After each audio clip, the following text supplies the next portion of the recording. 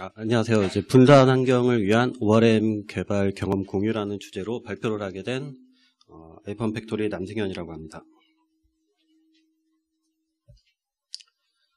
어, 발표는 이러한 순서로 진행을 하도록 하겠습니다. 이제 첫 번째로 어, 발표에 대해서 간략히 소개를 하고 어, 발표의 주된 내용이 되는 저희 팀이 개발한 이제 ORM에 대해서 어, 간단히 소개를 하고 구현에 해당하는 어, 코드 자동 생성, 이벤트 시스템, 비동기 I/O, 캐시 잠금, 그리고 이제 캐시와 잠금이 분산 환경에서 작동되는 어, 구현에 대해서 간단히 설명을 드리도록 하겠습니다.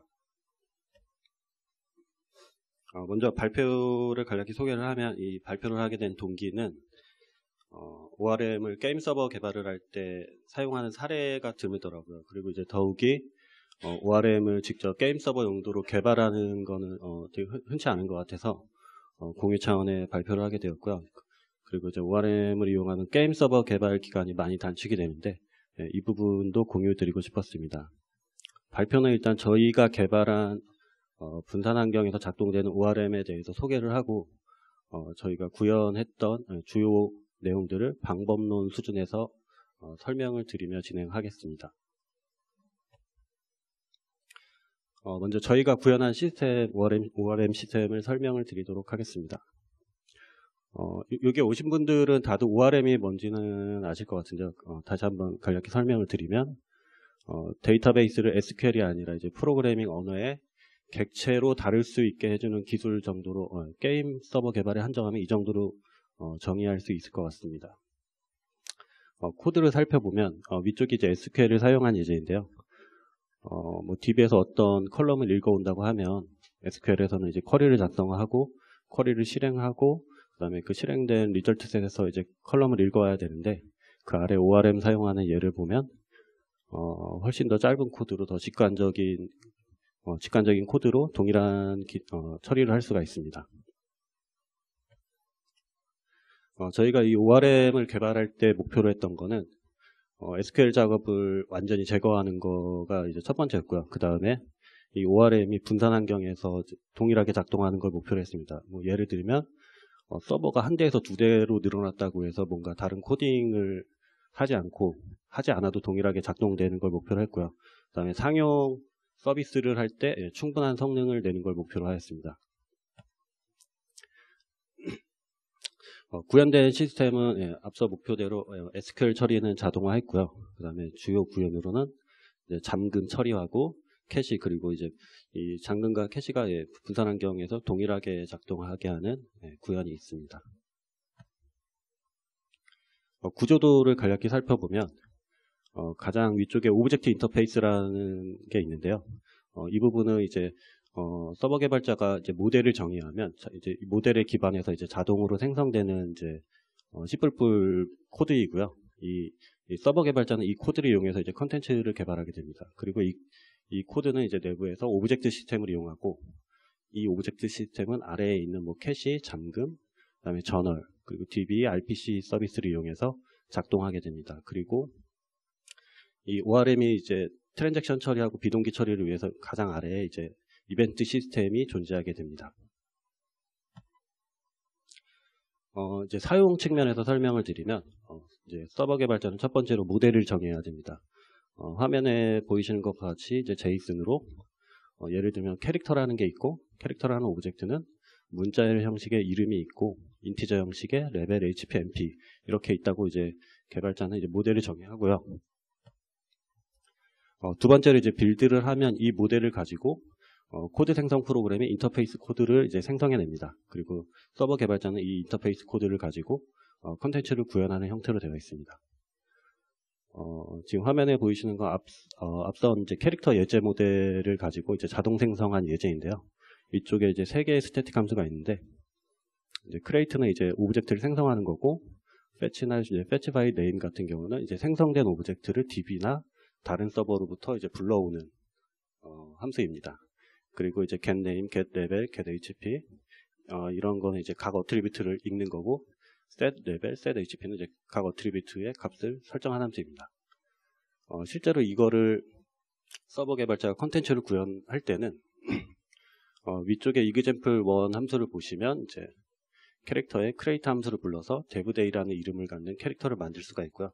이렇게 호출을 하면 이제 데이터베이스에 객체가 생성이 됩니다. 그리고 이제 set 함수로 이제 레벨이나 HP를 설정을 할 수가 있고요. 어, 이게, 이, 그 아래에 있는 이제 example2 함수는 반대로 이제 미리 생성된 object를 어, devday라는 이름을 갖는 캐릭터 object를 불러오는 함수이고요.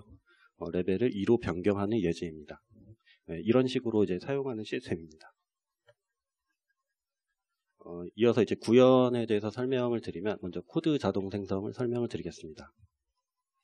어, 코드 자동 생성은 이제 build 시에 실행이 되는 거고 어, 앞서 예제 JSON 모델을 어, 예제와 같이 이제 JSON 모델을 입력받아서 어, 인터페이스 C++ 클래스를 생성을 합니다. 어, 이 클래스는 이제 생성되는 클래스는 단순한 wrapper 클래스이고 이 실제 구현은 이제 일반화된 object를 참조하고 이, 이 object를 다시 호출하는 형태로 되어 있고요. 일반화된 object의 구현이 들어가는 이유는 이제 어, 시스템의 근간이 되는 뭐 캐시 잠금 등의 시스템이 어, 구체적인 타입을 알 수 없기 때문에 이제 예, 일반화된 object로 내부적으로 처리를 하고 있습니다. 어, 코드 생성의 구현은 이제 Jinja template 엔진을 이용하여 구현을 하였습니다. 어, 이어서 이, 이벤트 시스템을 설명을 드리면 어, ORM하고 이벤트 시스템의 연관이 되게 없어 보이는데 어, 저희는 이, 이, 이벤트 시스템을 가지고 어, transaction 처리나 이제 비동기 처리를 하고 있어서 예, 설명을 드리도록 하겠습니다. 어, 앞서 말씀드린 것 같이 비동기 IO나 이제 transaction 구현을 위해 어, 이벤트 시스템이 필요했고요. 어, 이벤트 시스템은 그냥 간단히 생각하시면 어, 그냥 함수를 실행하는 thread pool 정도로 생각하시면 될 것 같습니다. 어, 우측에 있는 예제 코드를 보시면 어, 함수를 그냥 이벤트에 invoke란 함수로 던지면 이 함수가 어, 이벤트 thread에서 실행이 됩니다. 어, 각 이벤트 함수는 이제 세 가지의 상태가 있는데요. 어, 위쪽에 두 개 실행 준비는 어, 그러니까 실행을 하기 위해 thread를 기다리는 상태, 뭐, 더 정확히는 어, 이벤트 queue의 중간쯤에 위치한 상태이고 실행은 이제 맨 앞에 위치해서 thread에서 실행이 되는 상태입니다. 그리고 이제 일반적으로 볼 수 없는 중단 rollback 상태가 있는데요. 어, 이 상태는 이벤트 함수가 이제 처리되다가 더 이상 진행을 할 수 없을 때, 예를 들면 DB에서 어떤 object를 불러와야 되거나 아니면 어, 떤 object에 잠금을 걸어야 되는데 이미 다른 이벤트가 그 object에 잠금을 걸어놔서 더 이상 진행을 할 수 없을 때 어, 중단 rollback 상태가 됩니다. 어, 중단의 구현은 C++ exception을 이제 던지는 형태로 구현을 하였고요.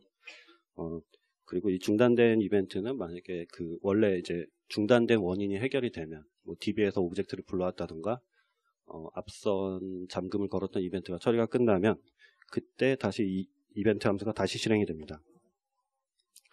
어, 이제 중단 구현을 그냥 간략히 코드로 설명을 해봤, 어, 작성해봤는데요. 어, 왼쪽이 이제 이벤트 thread의 이벤트 loop에 해당하는 코드이고, 어, 이제 이, 이벤트 loop에서 이제 이벤트를 하나 가져와서 실행을 이제 try 문으로 감싸서 실행을 하고 이 우측에 있는 이제 위쪽 우측 상단에 있는 게 이제 사용자 이벤트 함수인데 이 이벤트 함수에서 어떤 ORM에 대해서 접근, 이제 fetch by name으로 devday라는 캐릭터를 DB에서 읽어온다고 칠 때 이 함수는 내부적으로 캐시에 없다면 어, object found 같은 exception을 이제 throw 합니다. 그러면 다시 최종적으로 이벤트 loop에 catch문으로 돌아오게 되고 이 catch문에서 이 어, 이 exception 객체에 있는 이제 정보들을 가지고 DB에서 object를 불러온 다음 이 이벤트를 다시 실행시킵니다.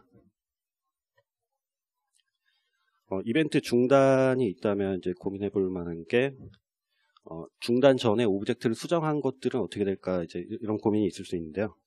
어, 이벤트 안에서 이제 object를 수정하는 거는 이제 바로 원본에 저장되는 게 아니라 임시 저장소에 저장이 되고 어, 중단이 되면 이 임시 저장 내용은 사라지고요.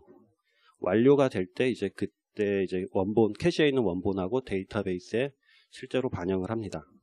어, 중단 구현은 사실 TLS를, TLS를 가지고 그냥 간단히 구현을 할 수가 있었습니다. 어, 다음으로 비동기 IO에 대해 설명을 드리도록 하겠습니다.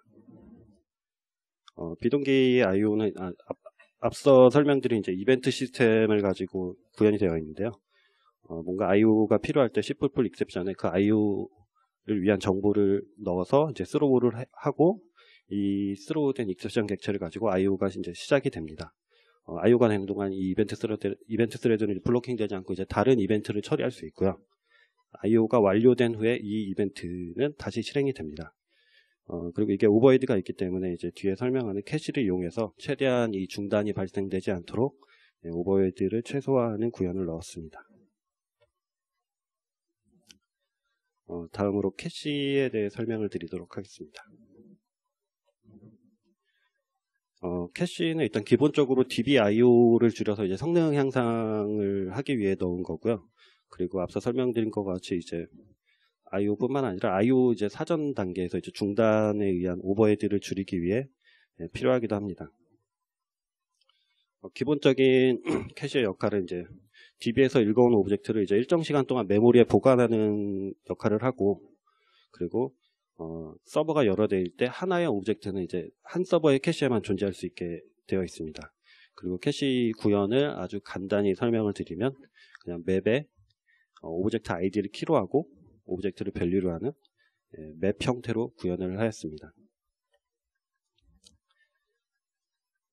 다음으로 이제 잠금에 대해 설명을 드리도록 하겠습니다. 어, 일단 잠금이 필요한 이유는 어, 당연하게도 이제 한 object를 여러 곳에서 동시에 수정을 하면 문제가 되기 때문이고 그리고 이제 캐시에 load된 object는 어, 이제 SQL 밖에 있기 때문에 SQL에 잠금을 쓸 수가 없습니다. 그래서 이제 어, 어플리케이션 수준에서 잠금이 필요하고 그리고 이제 SQL 잠금을 쓰더라도 어, SQL에 있는 잠금을 쓰게 되면 자연스럽게 로직이 DB에 쏠리는 문제가 있습니다. 그리고 데이터베이스를 이제 sharding하거나 하면 일반적인 잠금을 쓰기 어려운 문제도 있고 어, 뭐 분산 트랜잭션을 지원하는 솔루션을 쓰더라도 좀 사용이 좀 어렵더라고요. 네, 이러한 이유로 잠금이 잠금 구현이 필요합니다. 어, 일단 잠금은 이벤트 함수 안에서 object를 불러올 때 어, 앞선 이 fetch 함수 같은 걸로 object를 불러올 때 내부적으로 자동으로 이제 잠금 처리가 시작이 되고 함수가 끝날 때까지 잠수가 아, 잠금이 유효하게 어, 작동을 합니다. 그리고 만약에 fetch 함수 등으로 object를 불러올 때 이미 다른 이벤트에서 어, 잠금을 걸어놨으면 예, 주, 이벤트를 중단시키고 이제 잠금이 풀릴 때까지 대기하게 됩니다. 어, 저희가 구현한 잠금의 종류 이렇게 세 가지가 있는데요. 어, 복사본 읽기, 그 다음에 읽기 쓰기 이렇게 있고요. 이 중에 이제 복사본 읽기 같은 경우는 어, 게임 구현하다 보면 단순히 친구 목록 같은 거 볼 때 굳이 잠금을 걸 필요 없이 그냥 사본만 읽어오는 형태입니다. 어, 잠금을 구현하다 보면 이제 자연스럽게 deadlock 문제를 맞닥뜨리는데요. 어, 화면에 보이시는 두 코드와 같이 두 example 1과 example 2 함수가 어, dev-day 1, dev-day 2 캐릭터 객체를 역순으로 fetch하고 있습니다. 이 경우 어, 이 두 함수가 동시에 실행이 되면 example 1은 이제 dev-day 1을 잠궈 놓은 상태에서 example 2가 dev-day 2를 잠궈 놨으면 어, 이 이벤트들은 이제 서로 진행이 불가능합니다. 왜냐하면 서로 상대방의 잠금을 기다리는 상태가 되기 때문이고요. 이거를 이제 서버 개발자에게 ORM을 사용할 때 어, object를 읽어올 때 순서를 잘 고려하라고 할 수는 없어서 어, 이거를 자동으로 풀어줘야 됩니다. 어, deadlock이 발생되는 이제 조건 네 가지인데요. 뭐 상호 배제, 점유대기, 비선점, 순환대기 이렇게 있는데요. 이 이 네 가지가 모두 만족이 되면 이제 deadlock이 발생이 되는데요. 그럼 반대로 이 중 하나라도 이제 제거를 하면 deadlock을 피할 수가 있더라고요. 그래서 저희가 어, deadlock을 피하기 위해서 이렇게 두 가지 방법을 시도해봤습니다. 첫 번째로 이제 타이머를 이용해서 이제 점유대기를 푸는 방법이 있었고, 근데 이 구현을 처음에 넣었다가 문제가 있어서 이제 어, 선점형 잠금, 그러니까 선그 어, 비선점을 방지하는 형태로 어, 구현을 변경을 하였습니다. 어, 타이머를 이용하는 방법을 어, 간단히 설명을 드리면 어, 앞선 네 가지 조건 중에 이제 점유대기를 방지하는 방식이고요. 어, 그 이벤트가 실행 중에 더 이상 이제 잠금을 얻을 수 없을 때 이미 다른 쪽에서 잠금을 걸어놨을 때 어, 이 해당 이벤트가 잠궈놓은 것들을 다 동시에 다 풀어버리고 일정 시간 후에 다시 실행을 합니다. 그래서 일정 시간 후에 다시 실행하는 건 막연하게 그때쯤이면 이 잠금이 풀렸겠거니 하고 이제 실행하는 형태이고요. 어, 이 구현의 장점은 아주 간단합니다. 타이머만 이용하면 되게 쉽게 구현을 할 수 있는데요. 단점으로는 일정 수준 이상의 object 경합이 생기면 어, 일, 그 일정 시간 후에 다시 시도하더라도 여전히 잠금이 풀려 있지 않은 그런 상태가 반복이 돼서 이제 데드락이 어, 해결되지 않는 문제가 있었습니다. 어, 저희가 이제 그 다음에 시도한 게 이제 선점형 잠금인데요. 어, 네 가지 조건 중에 비선점을 해, 어, 방지하는 형태이고, 어, 이벤트는 모든 이벤트는 이제 실행 시간 순서에 따라 우선순위를 갖고 먼저 발생된 이벤트는 뒤늦게 발생된 이벤트의 잠금을 뺏어올 수 있게 하였습니다. 어, 당연히 이제 뒤늦게 실행된 이벤트가 실행 중일 때는 못 뺏어오고요. 중단된 상태에서만 뺏어올 수 있게 하였습니다. 어, 그, 그러면 이제 중단되지 않은 상태에서는 deadlock이 발생되는 거 아닌가 뭐 생각할 수 있는데요. 중단되지 않았다면 그 이벤트가 끝날 수 있는 상태이기 때문에 예, deadlock이 발생하지 않습니다.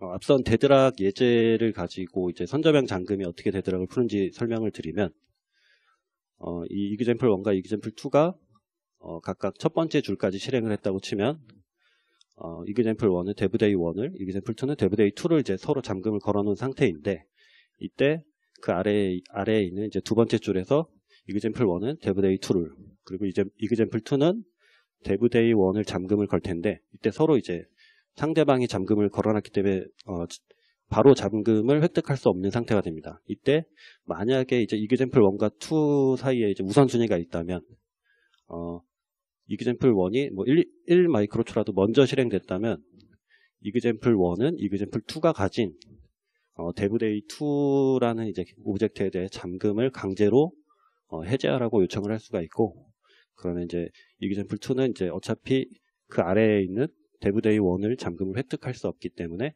중단이 됩니다. 그리고 중단된 후에 요청된 대로 이제 example 2, 그 dev-day 2에 대한 잠금을 풀고 example 1은 이제 dev-day 1과 dev-day 2, 두 object를 모두 이제 잠금을 획득할 수 있는 상태가 됩니다. 예, 이런 식으로 잠금을 어, 데드락을 회피하는 구현을 넣었습니다. 어, 이 구현의 장점은 어, 이제 Q에 기반한 구현이다 보니 이제 어, 경합 빈도하고 상관없이 좀 균등한 성능이 나오고 단점으로는 경합이 하나도 없으면 타이머를 이용한 방식보다는 조금 느립니다. 그리고 구현이 상대적으로 좀 많이 어려웠었습니다. 예. 어, 다음으로 이제 캐시와 잠금이 분산 환경에서 작동되는 구현에 대해 설명을 드리도록 하겠습니다. 어, 분산 환경에서 이제 ORM이 작동을 하려면 어, 단순히 단순하게 요약을 하면 이제 앞서서 말씀드린 이제 fetch 함수가 object를 불러올 때 만약에 불러오려는 object가 다른 서버가 이미 캐시에 올려서 사용하고 있으면 이, 이 fetch 함수는 다른 서버로부터 RPC를 보내서 해당 서버에서 이제 오브젝트를 잠그고 해당 서버의 캐시에서 오브젝트를 불러오는 형태로 예, 구현을 하였습니다. 어, 이렇게 구현을 하기 위해 저희는 이제 ZooKeeper라는 이제 어, 오픈소스 분산 coordination 서버를 사용하는데요. 어, ZooKeeper는 일단 간략히 설명을 드리면 어, 클러스터를 구성할 수 있고 클러스터를 구성하면은 어, 이제 단일 지점 장애가 생기지 않습니다. 뭐 예를 들면 ZooKeeper 서버가 세 대 있다고 치면 그 중에 한 대가 죽어도 전체 시스템의 장애는 발생하지 않고요. 사용 측면에서는 마치 이제 파일 시스템처럼 쓸 수가 있습니다. 어떤 경로에 어, 파일을 만들 수 있고 그 파일의 내용을 저장하고 읽을 수가 있습니다. 어, 저희는 이, 그 오브젝트 소유권 관리에 이 ZooKeeper를 사용을 하였습니다. 어, 오브젝트 소유권은 이제 더 간단히 말씀드리면 어느 서버가 어느 오브젝트를 caching했냐를 의미하는 거고 어, 어떤 오브젝트를 어떤 서버가 caching했다면 그냥 소유했다고 저희는 표현을 하고 있습니다. 어, 소유권을 관리하기 위해서 이제 서버 각 서버들은 이제 오브젝트를 DB에서 불러와서 캐시에 넣기 전에 ZooKeeper의 오브젝트라는 디렉터리 안에 오브젝트 아이디에 해당하는 파일을 만들고 그 파일에 어, 자신의 서버 아이디를 저장을 합니다. 만약 이때 이미 동일한 파일이 생성이 되어 있으면 어느 서버가 이미 캐시에 올렸는지 알 수 있기 때문에 해당 서버로 이제 RPC를 보내서 작동을 하게 되어 있습니다. 이때 보내는 RPC는 이제 빌려올 오브젝트의 아이디를 넣고 어, RPC를 전송하면 이제 수신한 서버는 요청된 오브젝트를 잠그고 어, 타임아웃을 설정을 하고 어, 여기서 타임아웃을 설정을 하는 이유는 만에 하나 이제 어, 예기치 못한 버그나 뭐 장애로 어, 반납이 안 되면 이제 deadlock이 이제 전체 서버군으로 확산되는데 이 문제를 막기 위해 이제 넣는 거고요. 그리고 이제 캐시에서 오브젝트를 읽어서 RPC에 응답으로 이제 전달을 합니다. 그리고 이제 수신한 서버는 이 응답받은 오브젝트를 가지고 이벤트 처리를 완료하고 그 수정 내용을 이제 반납 RPC에 포함해서 전송을 하면 이제 그때 lock이 풀리고 업데이트 내용이 어 이제 원격 서버에서 반영이 되는 형태로 되어 있습니다. 어 지금 보시는 거는 이제 서버 A가 어 캐릭터 오브젝트, 그 오브젝트 아이디가 1, 2, 3, 4이고 이름이 devday라는 오브젝트 하나를 caching한 상태를 표현한 건데요. 어 서버 A의 캐시에는 어, 오브젝트 아이디 1, 2, 3, 4 이제 name devday에 해당하는 오브젝트가 하나가 들어가 있고 이때 ZooKeeper에는 오브젝트 디렉토리 안에 오브젝트 아이디에 해당하는 1, 2, 3, 4라는 파일이 있고 서버 A라는 내용이 기록이 되어 있습니다. 즉 1, 2, 3, 4 오브젝트는 서버 A가 caching하고 있다라는 뜻이 됩니다. 어, 이때 만약에 서버 B가 이 1, 2, 3, 4 오브젝트를 어, 서버 B의 어떤 이벤트가 1, 2, 3, 4 오브젝트를 이제 fetch한다고 치면 즉 사용하려고 하면은 어, 서버 B는 일단 어, ZooKeeper의 이제 오브젝트 디렉토리 안에 1, 2, 3, 4란 파일이 있는지 보고 있다면 그 내용을 읽습니다. 어, 여기서는 이제 그 내용은 서버 A가 될 것인데요. 그러면 서버 B는 어, 1, 2, 3, 4란 오브젝트는 이제 서버 A가 들고 있다라는 것을 알게 되고 어, 서버 A로 어, 오브젝트 아이디 1, 2, 3, 4에 대해서 이제 lease RPC를 보냅니다. 어, lease RPC를 수신한 서버 A는 이 오브젝트의 잠금 처리하고 타임아웃을 처리하고 어, 오브젝트를 읽어서 서버 B로 RPC 응답을 보내고 어, RPC 응답을 수신한 B는 그때 이제 1, 2, 3, 4 ID 1, 2, 3, 4에 해당하는 오브젝트를 가지고 요청된 이벤트를 처리하고 처리가 끝나면 return RPC에 수정 내용을 담아서 다시 어, 서버 A로 전달을 합니다. 이때 서버 A는 잠금을 풀고 업데이트 내용을 이제 그때 캐시하고 데이터베이스에 반영을 하게 됩니다. 어, 어, 이렇게 저희가 이제 분산 환경에서 캐시와 잠금을 구현했을 때 겪었던 문제가 캐시 적중률 문제가 있었습니다. 어, 예를 들면 이제 게임 서버가 로그인 서버하고 이제 게임 서버 두 개의 군으로 나눠져 있다고 칠 때, 어, 각 유저들은 먼저 로그인 서버에서 접속해서 이제 로그인을 하게 되는데요. 이때 모든 그 해당 계정의 데이터가 이제 로그인 서버에 caching이 되고, 이어서 이제 유저는 게임 서버에 접속해서 게임 플레이를 할 때 정작 게임 서버는 로그인 서버 로그인 서버보다 더 많이 이제 오브젝트에 접근을 하는데 로그인 서버가 caching을 해놨기 때문에 매번 이제 로그인 서버에 리스 요청, lease RPC를 보내서 어, 처리하는 문제가 있는데요. 이때 이제 lease RPC가 과도하게 발생되는 문제가 있었습니다. 어, 그래서 저희 팀은 이거를 해결하기 위해 캐시를 조금 수정해서 어, 캐시의 각 오브젝트별로 접근 빈도를 계산하는 코드를 넣었습니다. 어떤 서버가 어떤 오브젝트를 얼마만큼 접근하는가 이, 이 빈도를 좀 느슨하게 측정하는 코드를 넣었고 만약에 자신보다 일정 수준 이상 높은 빈도로 접근하는 서버가 나오면 캐시에서 강제로 내리는 형태로 구현을 하였습니다. 어, 캐시에서 내리게 되면 자연스럽게 이제 더 높은 빈도로 접근하는 서버가 어, 캐시에 올릴 수 있는 예, 환경을 만들어 예, 줄 수 있어서 이 문제를 해결할 수가 있었습니다. 예, 여기까지가 제가 준비한 발표의 마지막입니다. 감사합니다.